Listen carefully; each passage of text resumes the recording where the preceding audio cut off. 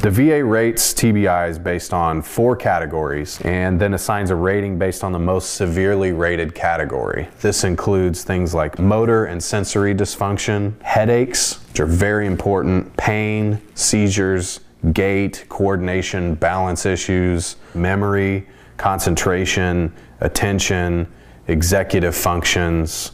This is one of the more difficult categories. That's because of the nature of a traumatic brain injury. But this means you're going to need a few different kinds of expert opinions. Uh, likely going to need a psychiatrist or psychologist and a medical doctor, preferably a neuropsych if you have access to a neuropsych. These are the types of experts that are qualified to administer TBI compensation and pension exams on behalf of the VA.